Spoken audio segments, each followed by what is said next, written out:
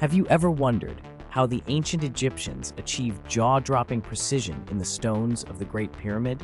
These massive limestone blocks, some weighing over two tons, fit together so perfectly that not even a razor blade can slip between them.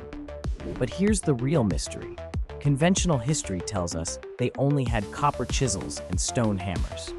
Try using those tools today, and you won't get anywhere close to the accuracy found in the pyramids.